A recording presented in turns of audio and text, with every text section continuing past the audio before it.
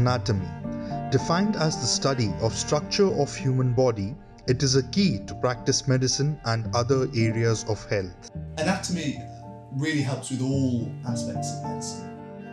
The urge to understand human anatomy and how the body works is as old as civilization itself. A UK health research analysis report claims that in 2018, 8.6 billion pounds was granted to more than 22,000 projects for health research and medicines. Although there are many contributors to the field of medical science and the study of human anatomy, the contribution of whole body donation is unparalleled. Our donors are amazing because they feel and they are giving something back they're helping future doctors, they're helping future patients. I am Amol George and I'm trying to understand how whole body donation helps anatomy researchers and students understand human body and health better in this story of Bodies to Science.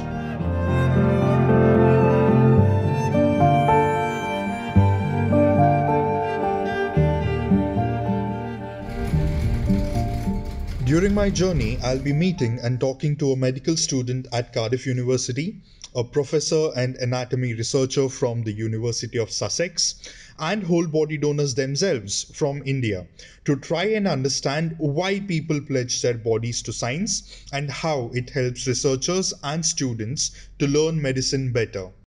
The three major ways in which a donated body is utilized are anatomical examinations, research, and education and training. The Human Tissue Authority, which is a regulatory body that deals with the donation, usage, and storage of human bodies, states that donating body is a valuable gift for healthcare professionals or for research.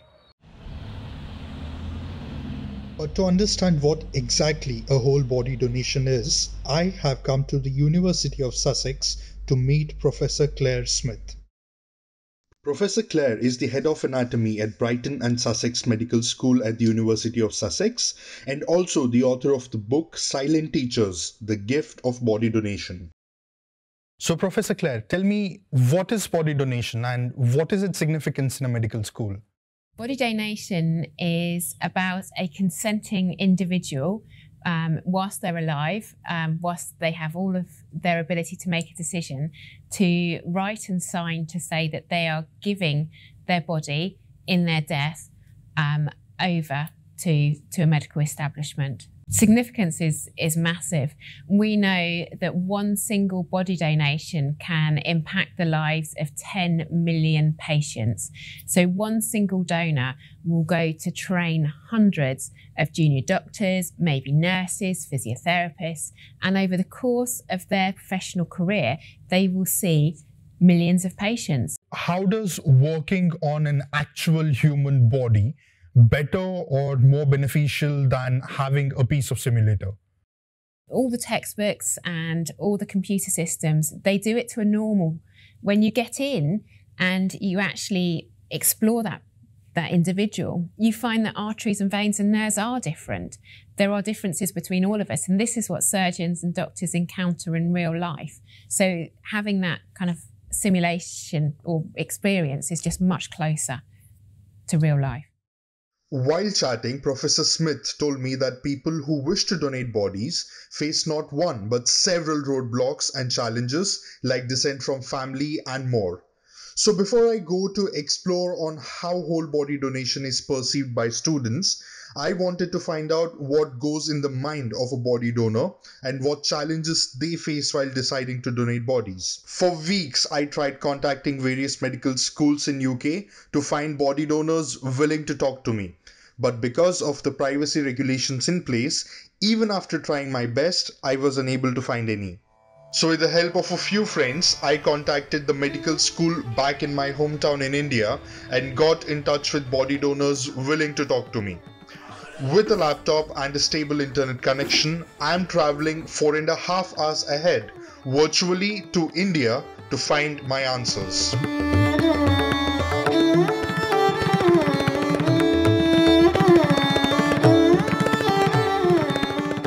In India, I met Mrs. Mahananda, a homemaker, and Mr. Manohar, a teacher in rural India, who told me about the challenges they had in convincing their families and the society at large about their decision. Individual तो कुछ नहीं लेती हूँ मैं with मैं husband permission कुछ नहीं करती हूँ उन, उनको पहले फर्स्ट पूछा था मैंने अपने पेरेंट्स को उनके पेरेंट्स को पूछा वो थोड़ा सा ये कर रहे थे मीन्स नहीं देना चाहिए ऐसा करके ಬಾಡಿ ಡೊನೇಟ್ ಮಾಡೋದು ಅಂದ್ರೆ ಅಷ್ಟು ಸರಳವಾದಂಥದ್ದಲ್ಲ ನಮ್ಮ ಭಾರತೀಯ ಒಂದು ಹಿಂದೂ ಕಲ್ಚರ್ ವ್ಯವಸ್ಥೆಯಲ್ಲಿ ಆ, ಅದು ಭೂಮಿಯಲ್ಲಿ ಹೂಳಿದರೆ ಸ್ವರ್ಗಕ್ಕೆ ಹೋಗ್ತದೆ ಅದಕ್ಕೆ ಮಂತ್ರ ಎಷ್ಟು ಹೇಳಿದ್ರೆ ಅದಕ್ಕೆ ಸ್ವರ್ಗ ಸಿಗ್ತದೆ ಇಲ್ಲ ಅಂದ್ರೆ ಅದು ಗಾಳಿ ಒಳಗಡೆ ಏನೊಂದು ಒಳ ಒಳೆಯಾಡ್ತಾ ಇರ್ತದೆ ದೆವ್ವ ಆಗ್ತದೆ ಅದು ಆಗ್ತದೆ ಅಂತ ಭಾಳಷ್ಟು ಕಥೆಗಳಿದ್ದಾವೆ तो वो लोग बोल रहे थे नहीं उनको पता चलता है कि है हमारे एंसिस्टर्स का बॉडीज इधर है बोल के ऐसा बोले बेनिफिट क्या है उससे वो क्या आते नहीं देखते नहीं हमने बचपन से देखा है मैंने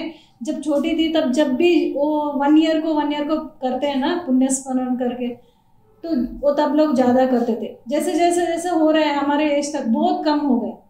कोई जा रहे भी नहीं याद भी नहीं करते हैं, एक तो और कितने ग्रेवियार्ड्स ऐसे हैं कि उसके ऊपर अब मल्टी स्टोरी बिल्डिंग्स बन गए। यूजलेस ही हो गया ना हमारा बॉडी वो, कुछ फ़ायदा भी नहीं हुआ ना उसका। ನಾನು ಎರಡು ಸಾವಿರ ಹದಿಮೂರು ಮತ್ತು ಹದಿನಾಲ್ಕನೇ ವರ್ಷದಲ್ಲಿ ಒಂದು ನ್ಯಾಷನಲ್ ಲೆವೆಲು ಸೈಂಟಿಫಿಕ್ ಟೆಂಪರರ್ ಬಗ್ಗೆ ಒಂದು ಗುಲ್ಬರ್ಗಾದಲ್ಲಿ ಸೆಮಿನಾರ್ ಇತ್ತು. ಅಲ್ಲಿ ಮೌಢ್ಯತೆ ಹೇಗಿದೆ, ಮೌಢ್ಯತೆಯಿಂದ ಜನರನ್ನ ಯಾವ ರೀತಿ ಶೋಷಣೆ ಮಾಡ್ತಾರೆ, ಅದನ್ನು ಹೇಗೆ ನಾವು ತಡೆಗಟ್ಟಬಹುದು ಅನ್ನೋದ್ರ ಮೇಲೆ ಒಂದು ಪ್ರಾಕ್ಟಿಕಲಿ ಆಗಿನೂ ಕೂಡ ಸ್ಥಳಗಳನ್ನು ತೋರಿಸಿದರು. ಆಮೇಲೆ ಅಲ್ಲೊಂದು ಮೆಡಿಕಲ್ ಕಾಲೇಜ್ ಇದೆ ಪ್ರೈವೇಟ್ ಒಂದು ಮೆಡಿಕಲ್ ಕಾಲೇಜ್ ಇದೆ ಗುಲ್ಬರ್ಗದಲ್ಲಿ. ಲಾಸ್ಟ್ ಡೇ ಆ ಬಾಡಿಗಳು ಯಾವ ರೀತಿ ಮನುಷ್ಯನ ಬಾಡಿಗಳು ಕೂಡ ರಿಸರ್ಚ್ ಮಾಡ್ತಾರೆ ಅಂತ ಮೆಡಿಕಲ್ ಕಾಲೇಜಲ್ಲಿ ತೋರಿಸಿದ್ರು. ಅಲ್ಲಿ ಸುಮಾರು ಹತ್ತು, ಹದಿನೈದು ಬಾಡಿಗಳು ಸ್ಟೋರೇಜ್ ಆಗಿಟ್ಟಿದ್ರು ಮತ್ತು ಒಂದು ಕಡೆ ಪೂರ್ತಿಯಾಗಿ ಬಾಡಿಗಳು ಪೀಸ್ ಪೀಸ್ ಆಗಿ ಅವು ತೆಗೆದು ಸಣ್ಣ ಸಣ್ಣ ಬಾಕ್ಸಲ್ಲಿ ಹಾಕ್ತಾಯಿದ್ರು ಇದನ್ನೆಲ್ಲ ನೋಡಿದ ಮೇಲೆ ಆಮೇಲೆ ನಂತರದಲ್ಲಿ ಅದ್ರ ಮೇಲೆ ಒಂದು ದೊಡ್ಡ ಚರ್ಚೆ ಆಯಿತು ಅಲ್ಲಿ ಈ ರೀತಿ ಬಾಡಿ ಡೊನೇಟ್ ಮಾಡೋದ್ರಿಂದ ಅದು ಲಾಭನೋ ನಷ್ಟನೋ ಅಂತ ಹೆಚ್ಚು ಅಭಿಪ್ರಾಯ ಬಂದಿರೋದು ಲಾಭನೇ एक अ, दो तीन स्टूडेंट्स ये कर रहे थे कि हमको बॉडी एक ही बॉडी में पूरे स्टूडेंट्स हम ये करते कम है हमको बॉडी डोनेशन नहीं होता कॉलेज में इसलिए स्टडी करेक्ट नहीं होता हमको एक ही बॉडी पे सत्रह अठारह लोग बीस लोग अ, ये करके देखते हैं मैंने कहा तो ये जो कोई क्लेम नहीं करते, ऐसे बॉडीज़ नहीं लेते क्या आप? तो ऐसा रूल्स नहीं है, नहीं ले सकते। अपने आप आके कोई अप्रोच हुआ तो डोनेट करे तो उनका ये कर सकते हैं ले सकते हैं। इस तरह से वो बच्चों ने ऐसा कहने कहने से मैंने डिसाइड कर लिया कि मैं कर दूँगी फिर ये तो यूज़फुल होगा ना उनको, बच्चों को भी। ऐसे मेरे तरफ़ मेरे जैसे ही और एक चार लोग देंगे तो जितना हुआ उतना बॉडीज़ मिलेंगे तो उनको भी स्टडीज़ के लिए ईजी हो जाएगा। ज़्यादा तो ज़्यादा स्टडी कर पाएंगे एक एक बच्चे को कम से कम कम होंगे चार बच्चे भी एक बॉडी से कम गए तो उनको ज़्यादा डिसेक्शन करने को मिलेगा ये सोचकर मैंने डिसाइड किया ನೋಡಿ ಒಂದು ಕನಿಷ್ಠ ಒಂದು ಇಪ್ಪತ್ತೈದು ಜನ ಮೆಡಿಕಲ್ ಸ್ಟೂಡೆಂಟ್ಗಳಿಗೆ ಕನಿಷ್ಠ ಒಂದು ಬಾಡಿ ಸಿಗದೇ ಇದ್ದರೆ ಅವರು ಪರಿಪೂರ್ಣವಾಗಿ ಡಾಕ್ಟರ್ ಆಗ್ಲಿಕ್ಕೆ ಸಾಧ್ಯ ಇಲ್ಲ ಹಾಗಾಗಿ ಆ, ಎಷ್ಟೋ ಜನ ಅಲ್ಲಿ ಇಲ್ಲಿ ಬಿದ್ದಂಥ ಶವಗಳನ್ನು ತಂದು ಅಲ್ಲಿ ಕೊಡ್ತಾರೆ ನಾವೇ ಸ್ವತಃ ಕೊಡೋದ್ರಿಂದ ಅದು ನಮಗೂ ಇನ್ನಷ್ಟು ಹೆಚ್ಚು ಅನುಕೂಲ ಆಗ್ತದೆ ಮತ್ತು ನಮ್ಮ ಬಾಡಿ ಒಳಗೂ ಏನಿದೆ ಅನ್ನೋದು ರಿಸರ್ಚ್ ಮಾಡೋಕೋರಿಗೆ ಸಹಾಯ ಆಗ್ತದೆ. ನಾವು ಭೂಮಿಯಲ್ಲಿ ಹೂಳೋದ್ರಿಂದ ಏನೂ ಅರ್ಥ ಇಲ್ಲ ಅದು. ಮನುಷ್ಯನಿಗೆ ಇರ್ಲಿಕ್ಕೇ ಭೂಮಿ ಸಿಗ್ತಾ ಇಲ್ಲ ಬೆಳಿಲಿಕ್ಕೇ ಭೂಮಿ ಸಿಗ್ತಾ ಇಲ್ಲ. ಇನ್ನು ಇದನ್ನು ಇಟ್ಟು ಏನು ಮಾಡೋದಿದೆ? ಒಂದು ಸರಿ ಮಣ್ಣಲ್ಲಿ ಮಣ್ಣಾಗಿ ಹೋಗ್ತದೆ. ಇದನ್ನು ಕೊಡೋದ್ರಿಂದ ಅದು ಲಾಭನೇ ಆಗ್ತದೆ ಅಂತ ನಷ್ಟ ಆಗಲ್ಲ ಅನ್ನೋ ಅಭಿಪ್ರಾಯ ಬಂತು Although both our body donors selflessly fought hard battles to stick to and stand by their decisions, the reason they decided to donate their body was largely to help facilitate the education of students and budding surgeons. But how do students react to cadavers? While you and I have learnt about the selfless act of donating body, it is the students that benefit the most from this noble act. In the November of 2020, I met Ewan, a medical student at Cardiff University. Ewan contacted me to help him film a thank you message to the donors. Months after his project, I called him back to listen to his experience about learning anatomy in real life. Anatomy really helps with all aspects of medicine. we learn anatomy through uh, dissection and prosection normally. Um, and the students, certainly myself, um, we much prefer the hands-on, the real, um, the real learning that we can have from a from a donor than the um, the concepts from a uh, I don't know an information an informational um, lecture or PowerPoint. It's a, a, a massive privilege to be able to um, see these donors and to learn from them. For the students, it is unparalleled. There, there isn't anything really that can teach you the confidence and the competence um, of anatomy like learning through uh, a donor. For you find everything just clicks into place. You see that that this is related to this in that respect, and um, that is why you maybe carry out an examination on this part of the body in a particular way. It all makes sense when you see the body and the way it's put together. It can be a very scary thing to put your hand on a patient or to uh, palpate or, or feel um, a patient. And certainly to to have the the knowledge to make an incision in a patient's skin um, there, there's nothing nothing that can prepare you like making an incision in skin. I am incredibly grateful and incredibly thankful of the body donors. I think all students have come to appreciate just how important they are. Um, and that at Cardiff University especially the learning of anatomy would be so bare without uh, real real experiences learning from a person.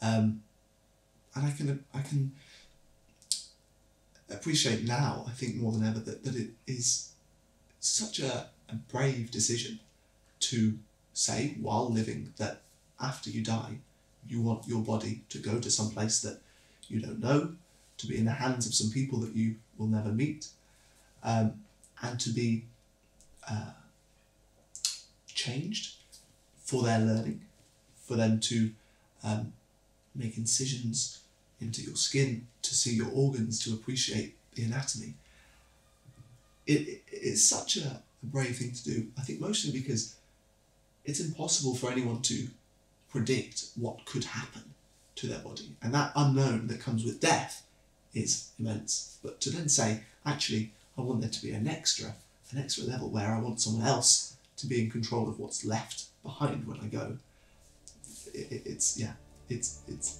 unbelievably brave